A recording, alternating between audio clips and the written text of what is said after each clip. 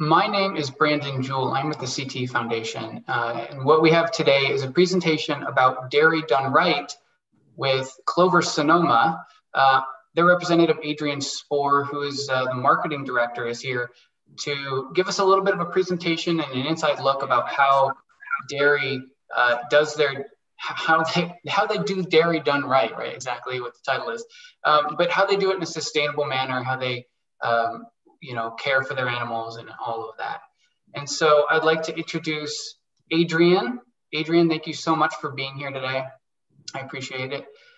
And I'd like to also say welcome to Ms. Fernandez's ag class. Thank you for all the students that are here with us today. Um, we are also streaming live on YouTube right now. So for all the students that are watching live right now, I'm gonna ask that you keep your cameras and your microphones turned off. We will have a Q&A section at the end. In that case, you can turn your camera on and show yourself and ask a question live. Otherwise, during the presentation, if you have a question that you want to ask, feel free to just ask it in the chat and either Adrian and I will address that question when we get a chance. Um, and same goes for those of you who are on YouTube. Feel free to use the chat function there to ask a question. I'll be monitoring that and then we'll get to that when we can. Um, so Adrian, I think now is a good time. I'm just gonna hand it right over to you and ask you to, to start your, your wonderful presentation here. Hi guys, good morning. Thank you for jumping on. Um, the, you know, my role at Clover, I'm the director of marketing. I've been with Clover for about almost five years now. And I would just add that if you have any questions about, you know, having a career at Clover or having a career in marketing, um, I'm also happy to answer those questions. And with that, we'll jump into the presentation. I'm going to start us off with a video about our company just so that you can get an introduction to who we are.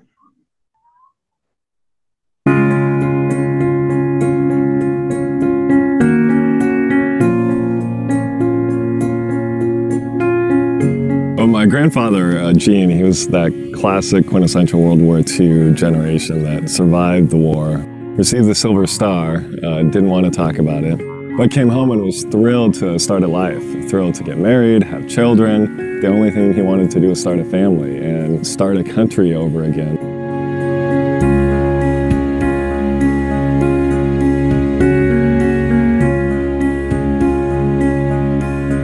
He wanted to coach football in the worst way, but because of his bilingual skills, he was recruited by the Petaluma Cooperative Creamery to call on the different dairies because he spoke Italian. He was subsequently groomed to run the co-op. He became general manager there. And the largest fire in Petaluma's history burned down the co-op bottling plant and Gene asked the board of directors, all dairy families, if he could buy the Clover brand name. They agreed, he did, and Clover, as we know, it was founded by him in uh, 1977.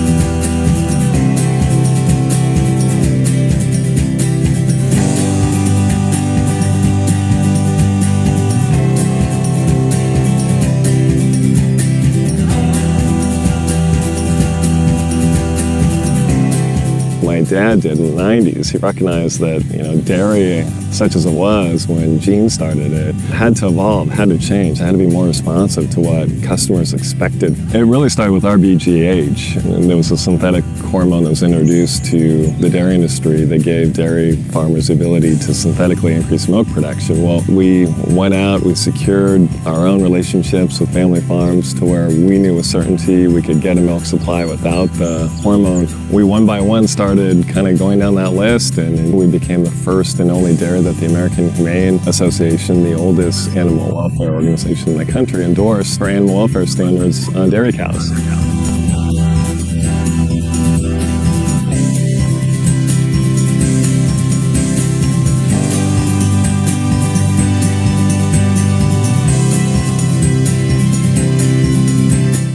Us at Clover, uh, not just myself, take um, a lot of what Gene instilled in us in terms of the culture, the values of the company. He uh, was simplistic in his values, his ideals, and I think all of us somehow culturally get that from mentors in the business. You know, our mission always has been elevating dairy, making it better from the cow's perspective, from the land's perspective, and hopefully always front and center our consumer's perspective. That's our mission, elevating dairy. 100 years is a milestone, um, but it's one that I think uh, hopefully in the long history of Clover is a small milestone.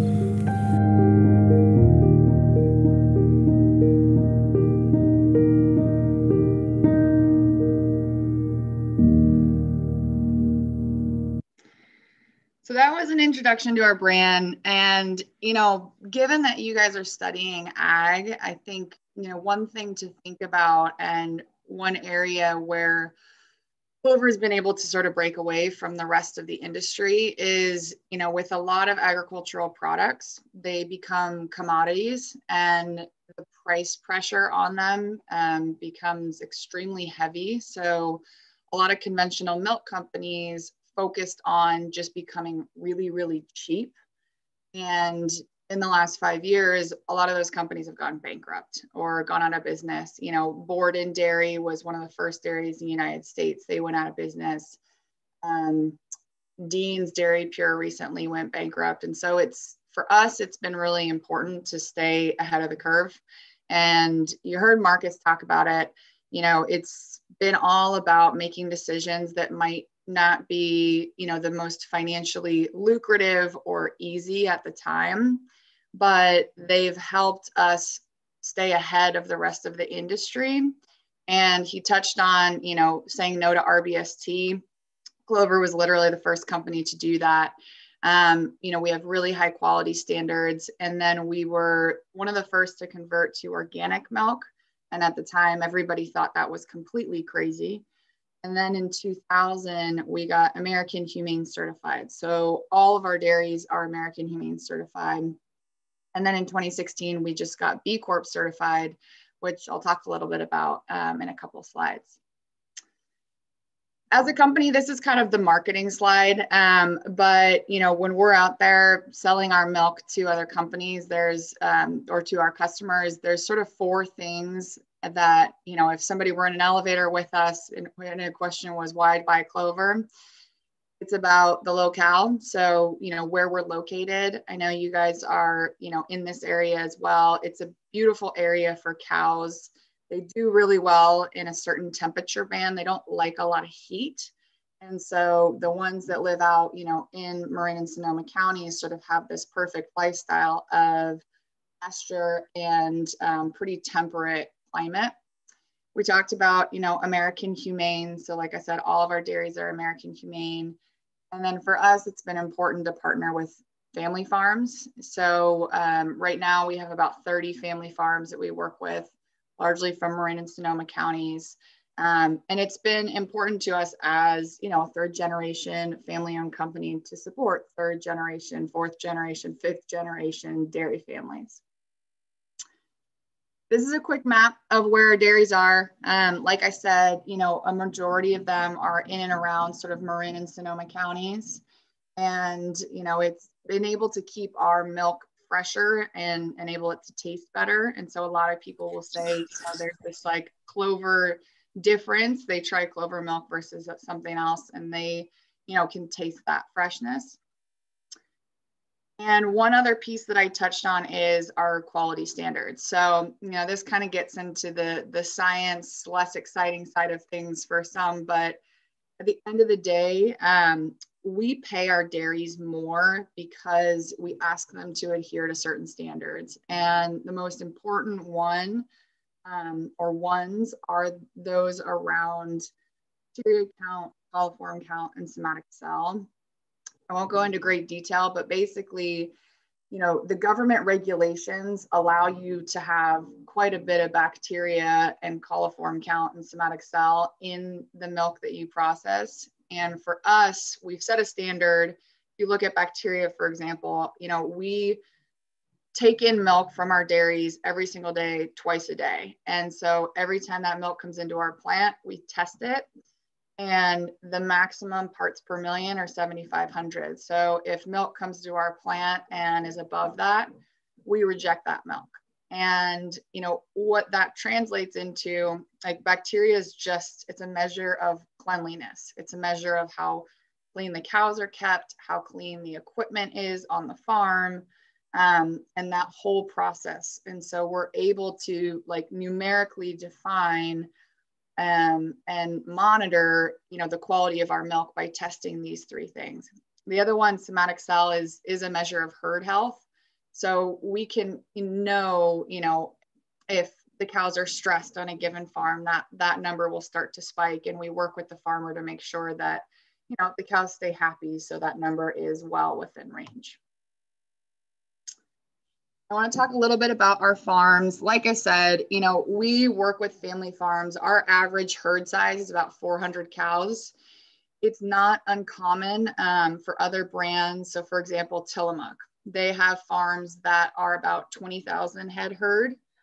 Um, I believe they have two of those that produce a majority of their milk. And then they have a couple of farms that look like ours. And so, it's been a huge point of pride for us to be able to allow these farms to continue. Um, you know, in Sonoma County, we used to have over 500 dairy farms, and that number has declined now to under 100. So, you know, it's important to be able to have local milk, and we we want to support these family farms. And with that, I will introduce you to the Nick and Amber Buttke Dairy up in Sebastopol.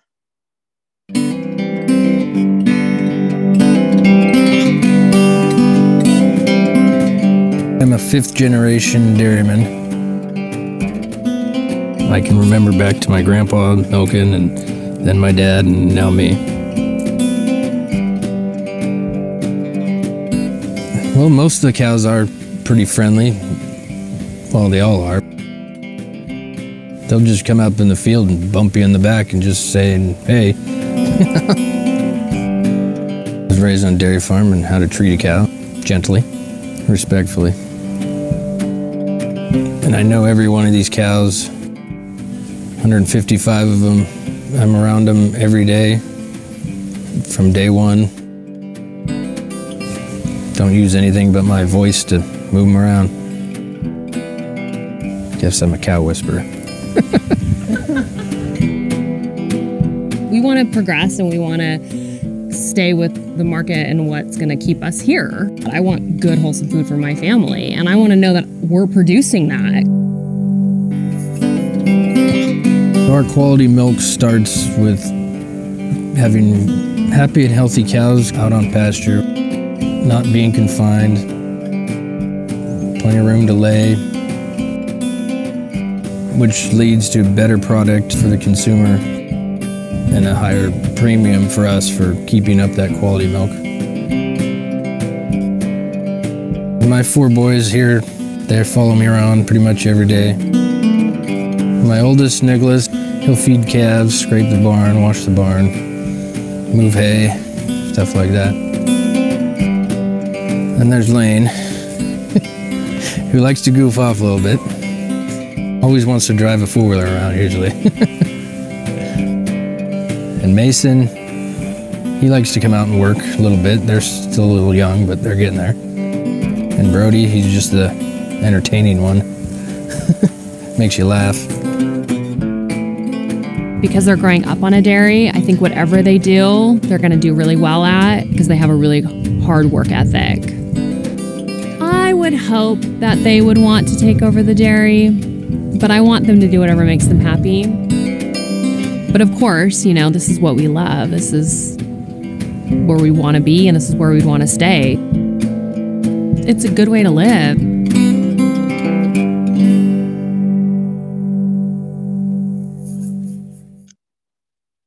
And you know, the, um, the Buttke's talked a, a little bit about the American Humane Certification. You know, this for us has been probably the you know one of the biggest differences between us and a lot of the competition and you know i'm sure you all sort of have seen it you know humane treatment of animals is becoming more and more um, important to people. I mean, I think it's always been important in the back of people's minds, but now when you know you're looking at food products, there's a very deliberate search for products that you know are coming from humanely treated cows. When you look at eggs, a lot of egg cartons will have a humane certification or some of some sort.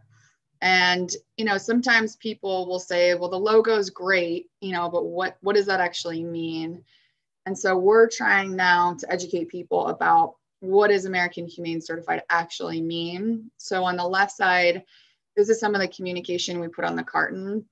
And what I would say is, you know, a lot of what you do when you're in marketing is figuring out how to teach people about your brand, your company, and who you are. And the biggest challenge is that everybody is incredibly distracted, right? We've all got you know all sorts of video calls we're dealing with now you know a lot of things that are happening in the outside world and there's just a lot of information constantly coming to us and so finding ways to distill information into like digestible pieces like this is a lot of what my job is and with american humane you know we focused on five key points that we have a zero tolerance policy of animal abuse it ensures a safe environment for each animal.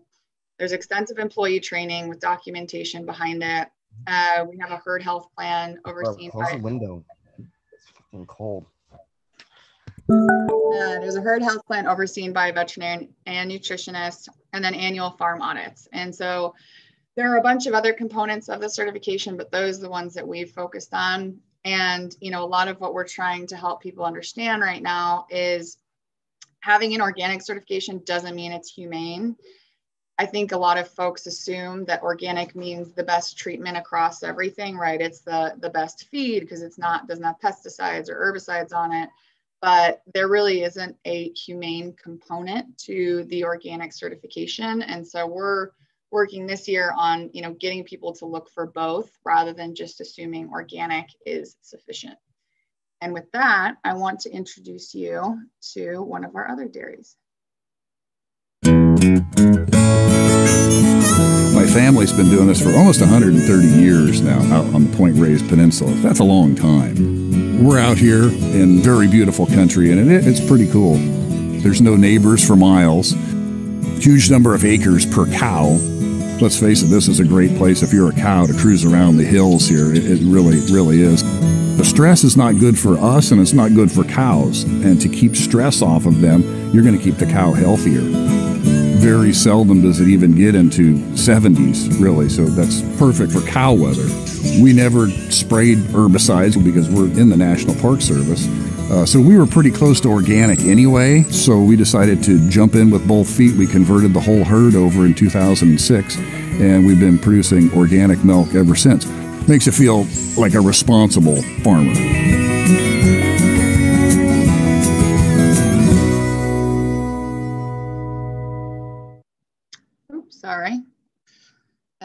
So that's Bob McClure. He's actually, I was uh, talking about it earlier, he actually is out on the Point Reyes seashore. So like you said, I mean, the cows are right next to the coast. Um, they're extremely happy and then another thing, you know, I talked about a lot of what we're trying to do as an agriculture company is educate people on what's happening on farm. And, you know, I don't know to what extent you guys have sort of, you know, delved into, you know, dairy farms, but there's a lot of things that happen on farm that help reduce emissions. Um, because methane emissions are a, a major sticking point for dairy in general.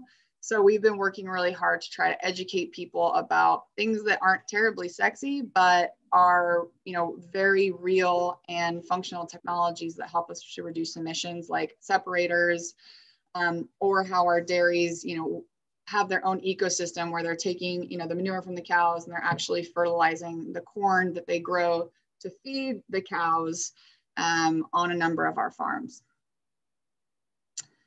I'll touch quickly on B Corp because um, I do want to get to the sustainability piece and give you guys a chance for some questions. But essentially, um, B Corp is a certification that evolved to combat greenwashing, right? A lot of companies came out and said, isn't it great that we donate $20,000 to this local park, but then at the same time, they're sourcing palm oil from you know countries or companies that are tearing down the rainforest and destroying habitat and you know just generally not operating in a good way in a lot of different areas but they focus on this charitable giving and so B Corp evolved to look at your entire company and make sure that you're, you're being a good steward across the board.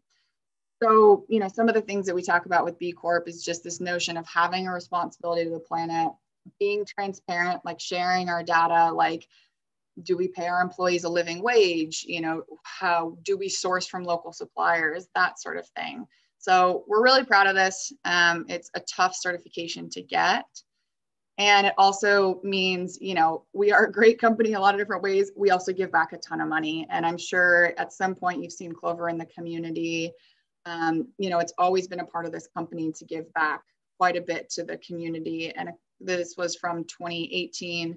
We gave back over $775,000.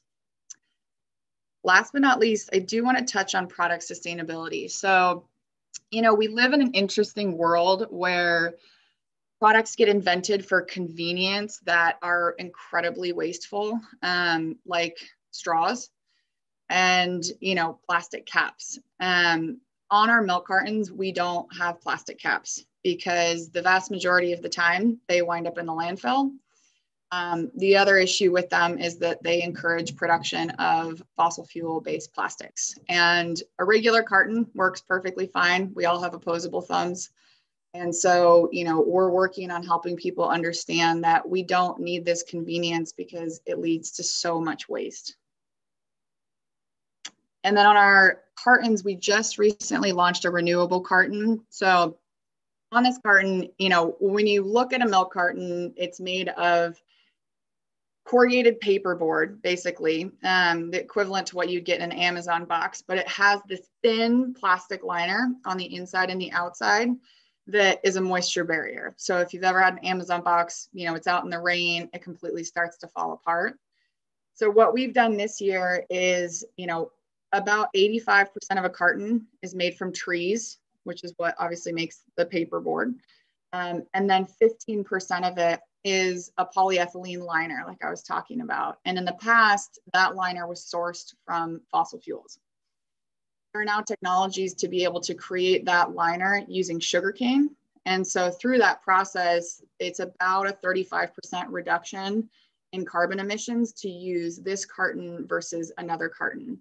So it costs us a bit more as a company. It's about two and a half pennies more per carton, and we run about 25 million cartons. And so, you know, it's a material impact, but it's something important that we recognize we need to do. And then um, last but not least, this is my last slide before we jump into Q&A. You know, we have a recycling system, but a lot of what happens is that folks don't clean their cartons or clean their packages. And so it doesn't matter if something's recyclable. If you've got a yogurt container that still has half the yogurt in it, it's never going to get recycled. And so if we want to create a sustainable waste system, you know, we want to make sure that people understand what it takes to actually have something recycled. So we've been working really hard to educate people on um, how to properly recycle our packages. With that, I will stop sharing and open it for Q&A.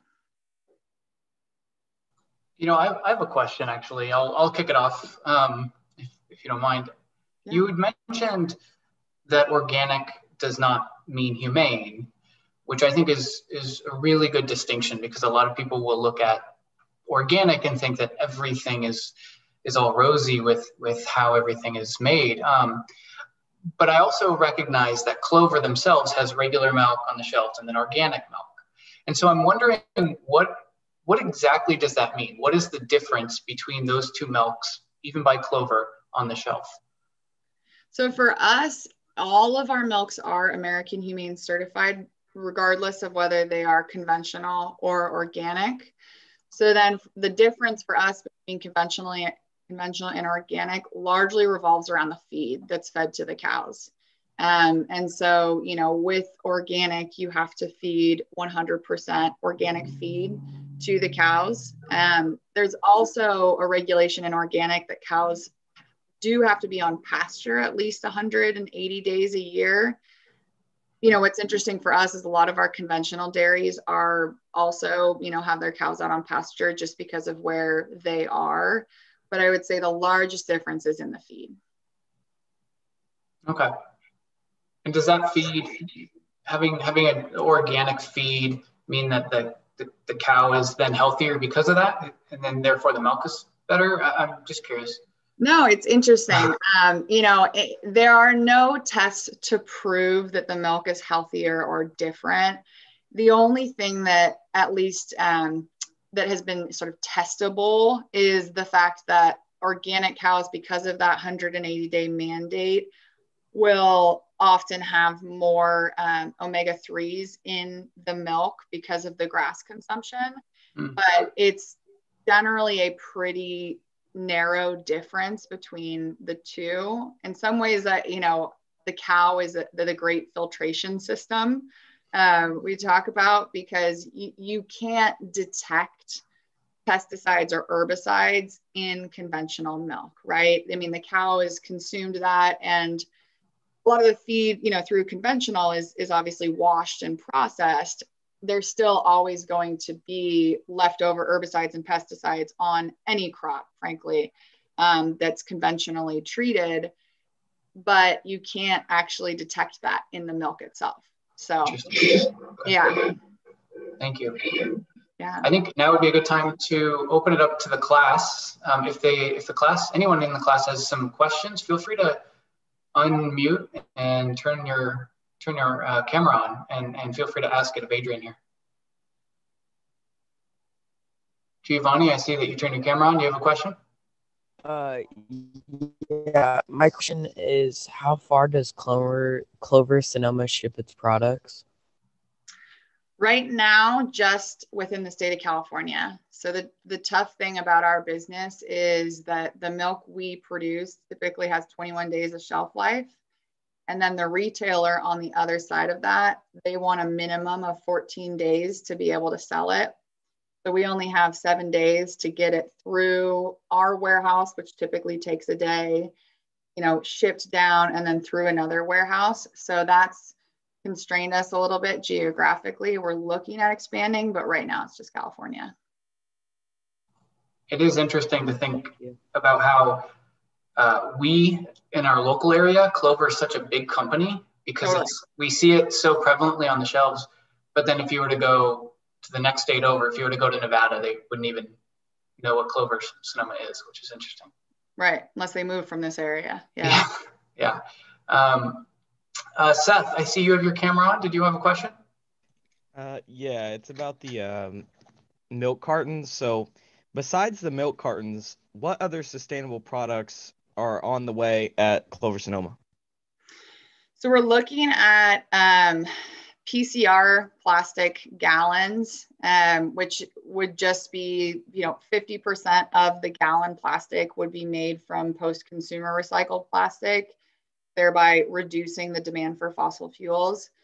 The biggest challenge we have, like the holy grail, would be to have compostable packaging. And, you know, but if you step back and you think about what you're asking of a package, which is that it can survive being manufactured, it can survive going through our plant, being filled with milk, and there's moisture in the plant then making it through our warehouse, making it onto a truck, getting to the store, all staying in good condition.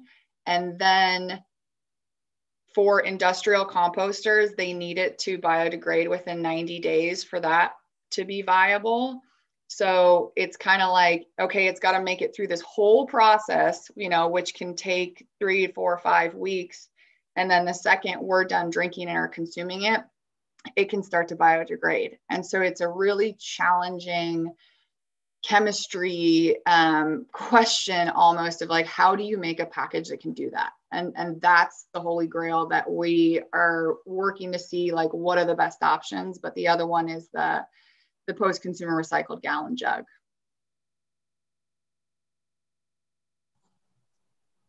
Uh, let's see, uh, Max, do you have a question there?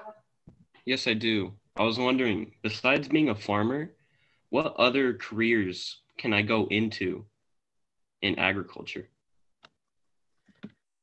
There are a lot. So, um, you know, I would say so. Just looking at our company, for example, you know, we obviously have our our farmers. We also have a person who's our producer relations manager, and her role is to be the liaison between Clover and our farms, and to you know make sure they have what they need from us, vice versa you could you know you could enter the corporate side of it you could be you know managing the financials of it right? And because milk pricing is based on commodities markets and they're constantly shifting. And so keeping track of that there are roles within the government you know working with cdfa that you could go into. Um, another interesting one is working with the local rcds um, who oversee the watersheds and work with a lot of the farms to either you know source grant funding from the government to be able to put in new equipment um, i've also you know heard of people that work with the western dairy association which is both kind of an insurer of dairy farms but also a company that is a resource for the farms to um, look at new technologies to, to try to make their farms more profitable. So there's a lot, um, a lot of different things you can do with it. And it just sort of comes down to thinking about what is most interesting to you about agriculture um, and, and kind of following your following that path and testing out different things, you know, to figure out what you like.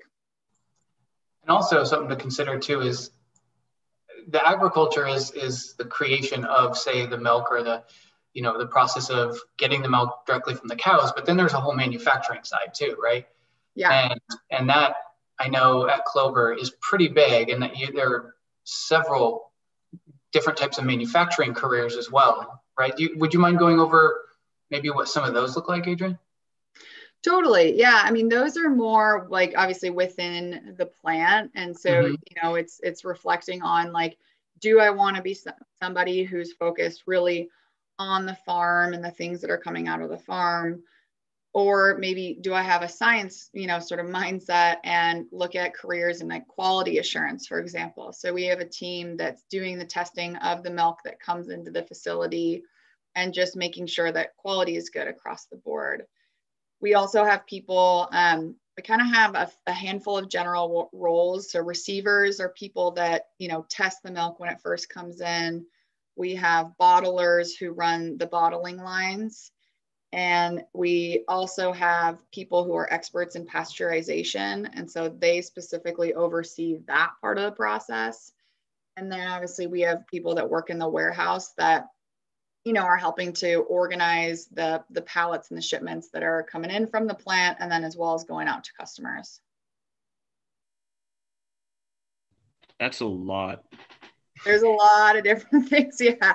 My suggestion is, you know, in your career, try different things, you know, keep broadening your horizon, but think about the things that are, you know, are you somebody who really likes to be outside and can't stand sitting in a desk all day? Like, my boyfriend's an electrician he looks at my job and thinks i'm crazy um, you know and so maybe if you're somebody that likes to be out and engaging with people it's more like all right i want to work you know with farms and, and help them improve their business or you know i'm a i'm a really methodical person and and numbers and testing and sort of the science path makes more sense so maybe i look at you know quality or um, working with universities on testing new feeds for dairy cows.